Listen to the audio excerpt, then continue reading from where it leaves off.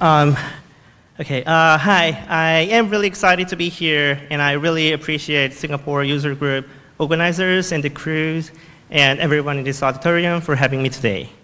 I'm not sure how many of you here have experienced serverless development, but if you have ever tried developing large-scale systems with serverless architecture, I guess you have probably faced with this topic that I'm going to talk about today, uh, complexity. Today, I will uh, talk about how to simplify design complexities using serverless architecture on AWS based on my experiences with using the new AWS services that have been recently announced. Uh, before getting started, uh, I'd like to introduce myself just for a moment. My name is Sonu Kim from South Korea.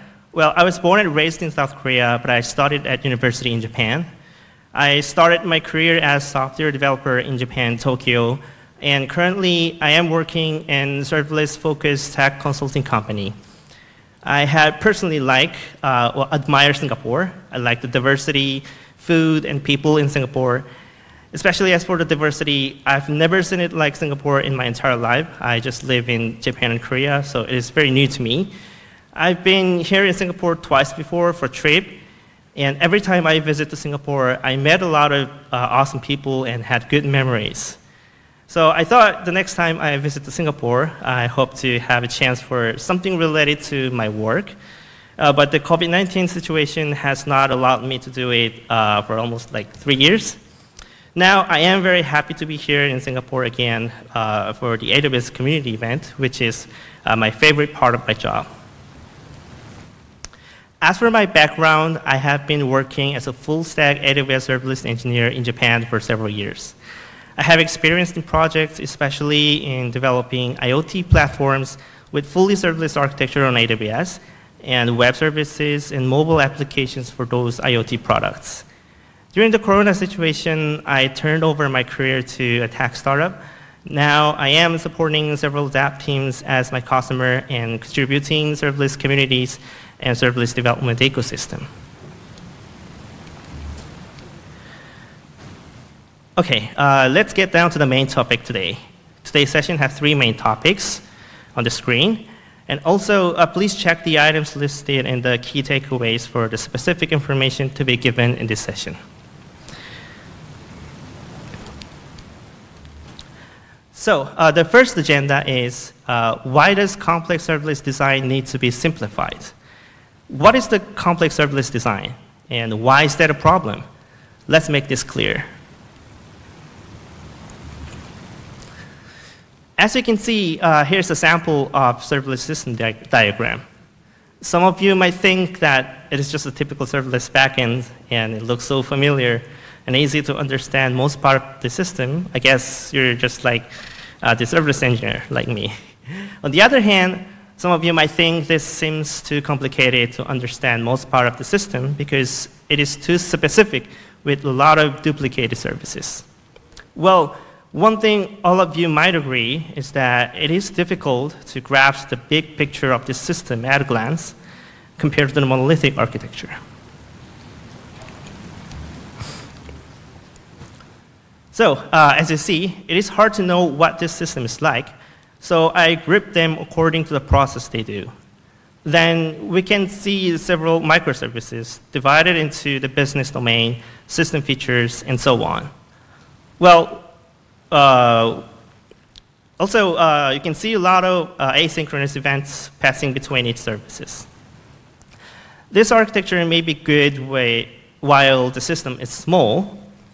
Uh, we can even say it is a sophisticated design in the context of serverless architecture. But what if uh, this, is the, this is a platform for a service with tens of thousands of users? If there's a problem in the system, how do you investigate? If there is a missing property in the middle of asynchronous process, how do you trace and fix it?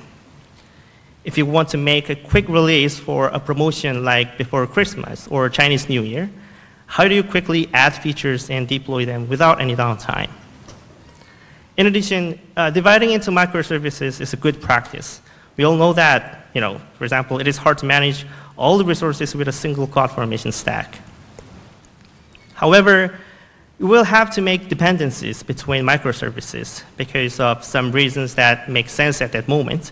Soon after, it's going to be difficult to keep the microservices completely stateless, including deployment ordering and so on.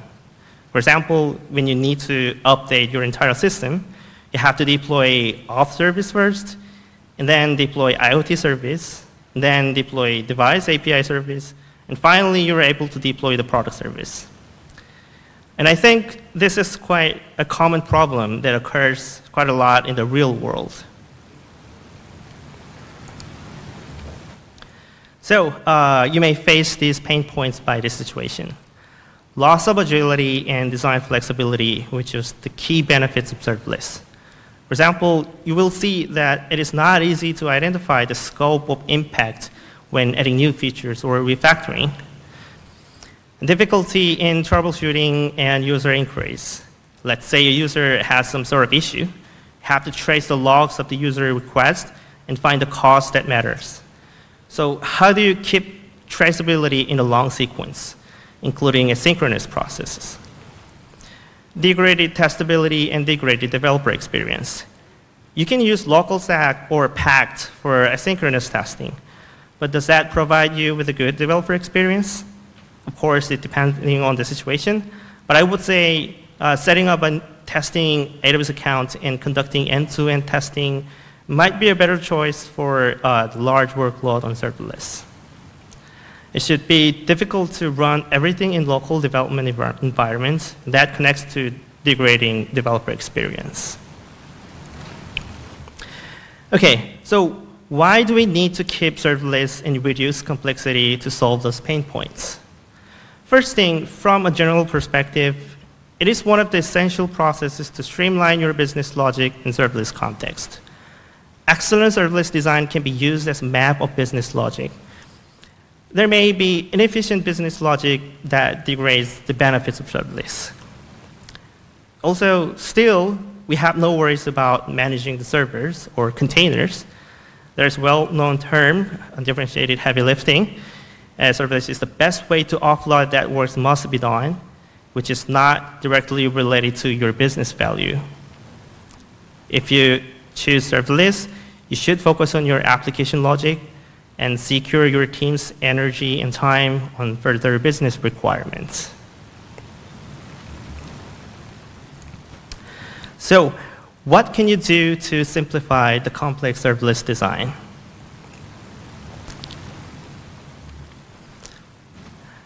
The first thing I would like to note is to arrange unnecessary Lambda functions and triggers. I understand the convenience of implementing Lambda functions for various use cases. However, just like a program source code needs refactoring sometimes, I, I suggest to consider reorganizing your Lambda functions and other services with Amazon EventBridge.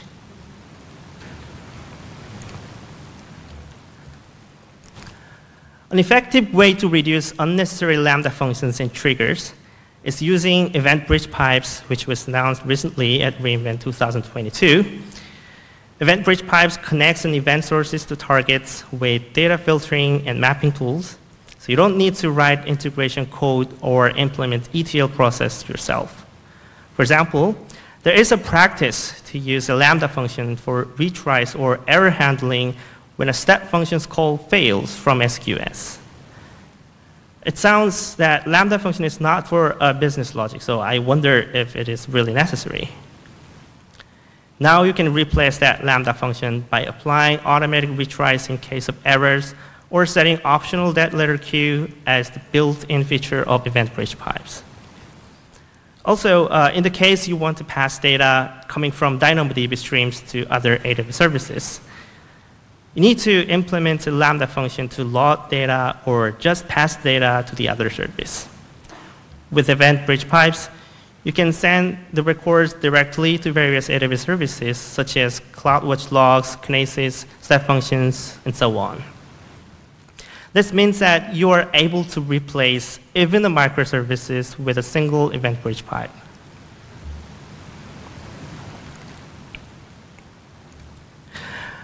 Also, uh, there is one of the new features that is announced last year, uh, the EventBridge Scheduler. Let's say you have to design a feature that sends mobile notifications to users. Note that if you send notifications to all your users, your, the user will tap the notification and open the app all at once. You will get a lot of traffic, and your workload might burst or be throttled. So uh, one of the effective practices is to split the sending request with time intervals. In that case, you can make a delay using step functions or using uh, the SQS delay queue. As you see on the left side, uh, you can do it by step functions workflow like this, or design Lambda functions with SQS to implement the time interval. However, now the components for setting the time interval can be replaced by using flexible time window of the EventBridge scheduler. If you set the value as 15 minutes, the task will be triggered within 15 minutes. We don't know when it's going to be triggered exactly, but at least we can make time intervals without implementing it ourselves. If you off the flexible time window, then the task will be triggered exactly on time. And I think this could be also a good solution for, for several specific use cases. There is also a useful EventBridge feature, API destination. This API destination not only allows uh, asynchronous calls to external API endpoints, but also allows retries, dead letter queues, and rate limits to be set, so we can eliminate the need to implement these processes. It can be configured as a, a, the target of EventBridge pipes. So in the case of combining with EventBridge pipes, there may be some cases you can remove the Lambda function just for calling external APIs.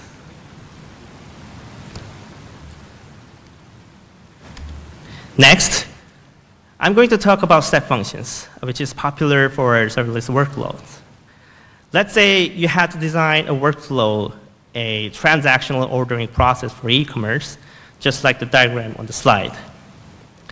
I saw this kind of workflow many times, and I think there are pain points like this. There are multiple nested workflows for error handling and recovering process, which is not directly related to your own business logic, like handling system errors from external system. And um, there are lots of conditional branches depending on success and failure status. In the end, once the workflow is set, it is not easy to be changed.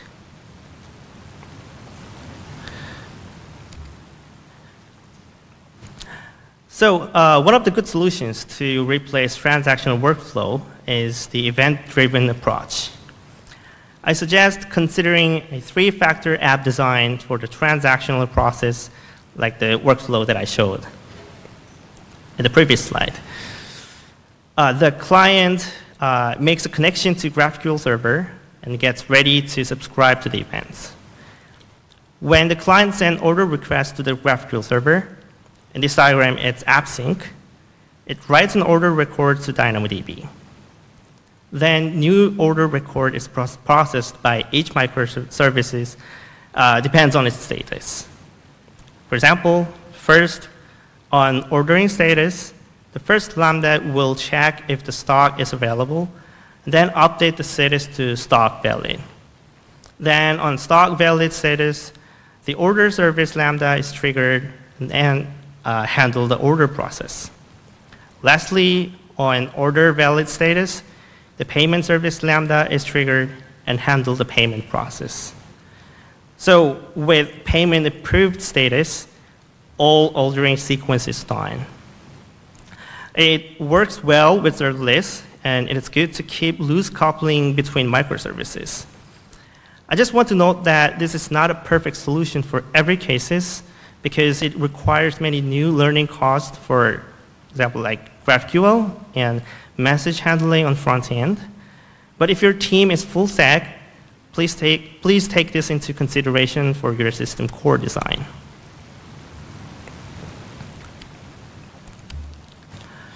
And uh, when you are working on three-factor app or any other event-driven workloads, we'll definitely need some kind of tracing method to debug or trace a single long sequence containing a lot of asynchronous processes.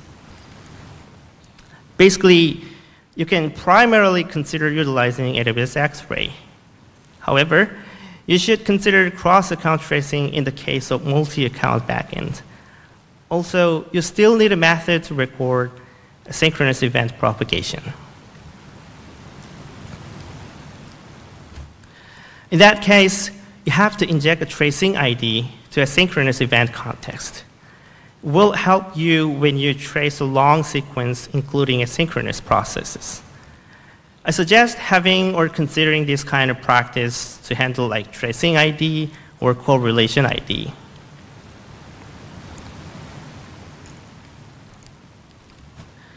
Another basic thing you should know, uh, you should do when tracing uh, is to be able to produce structured JSON logs. You can use tracing ID or request ID to list the logs of a series of processes in a sequential manner. There are useful libraries for JSON logging, such as AWS Lambda Powertools for TypeScript or Python.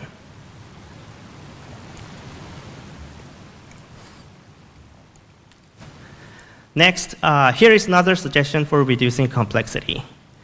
Next.js, which is a server-side rendering framework for React.js, and Nuxt.js, which is also a server-side rendering framework for Vue.js. Both of them supports Lambda as their build target. That means you don't need to use Fargate or App Runner just for provisioning server-side rendering applications anymore. Unless you need to configure a static outbound IP address, you can remove network configurations on your system diagram. I'm afraid to say you don't need VPC just for provisioning server-side rendering apps anymore.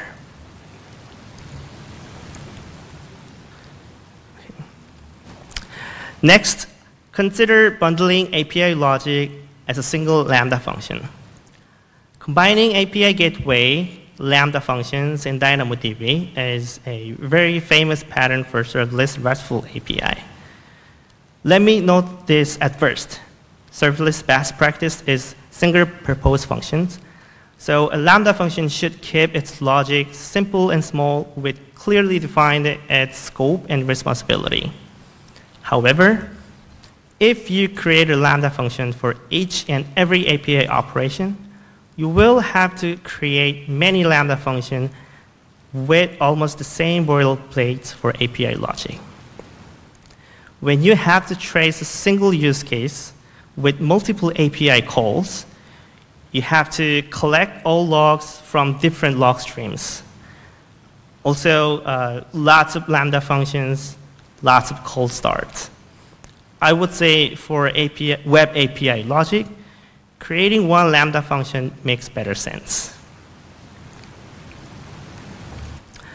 Well, some of you might be concerned that I am using Lambda functions for too much work, and it is bad practice. Basically, I agree with that. However, in context of web API design, I'm afraid to say that it is actually more efficient and clean with those libraries on the slide if you are using Node.js, there is, a, uh, there is uh, the Lambda API. AWS Serverless Hero Jeremy Daly created this with express-friendly API routing interfaces. If you are using Python, you can use AWS Chalice with API routing decorators. And if you are using Java, there is Power Lambda with API routing annotations. I personally really, uh, released many products uh, on my work uh, with Lambda API and Power Lambda with a single Lambda function for API logic and never made a problem yet. Okay. So let's go on to the last part of our agenda. Architectural approaches with Amazon EventBridge. I spoke some features of Amazon EventBridges, and I suggest uh, reorganizing microservices with uh, using Amazon EventBridge. But you might think that uh, not it a single point of failure Is that too depend dependent on one service?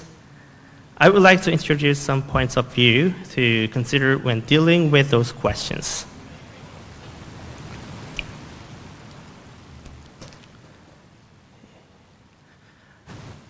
At first, uh, you can use EventBridge with a centralized design. It is easy to integrate applications or microservices with minimal changes. You can just add, rule, add a rule with an event filter and send the events to the rule. That's it.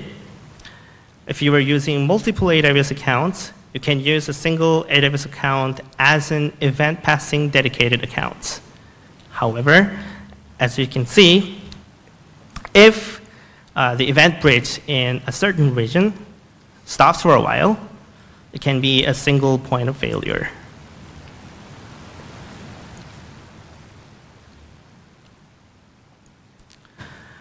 Also, uh, here is another example. Uh, there's no concern single point of failure, and uh, each services has its event bus to communicate with other event buses. It is a distributed pattern. It's actually good for multiple DevOps teams to collaborate on large-scale development and keep their services autonomy. If the EventBridge in a certain region fails for a while, you can route the event to another region in the same AWS account. So you can minimize the effect of the failure. However, it does not help with reducing complexity.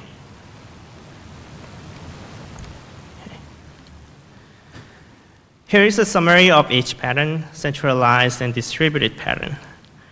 I would not mention that which one is better or which one is, well, good for in some cases, because it depends on uh, the situation. However, you can refer these patterns to optimize some part of your system that can be improved. Uh, the diagrams are actually based on the situation in uh, 2020, uh, but now there are some more features for failover and EventBridge. So please check that if you have to care the downtime. Uh, well, there are solutions uh, you can use for region failure. I didn't mention it in this uh, presentation because it's, well, quite out of the topic, uh, but there is some kind of uh, method to do it. Uh, that's it. Uh, thank you very much for listening and attending this session. And please feel free to any, uh, ask me any questions about the content. And lastly, uh, I just came from Japan, and I guess it was quite out of blue for you folks. If you are interested in me, my work, or doing or expanding your business in Japan, please check my company website and feel free to contact us. That's all. Thank you very much.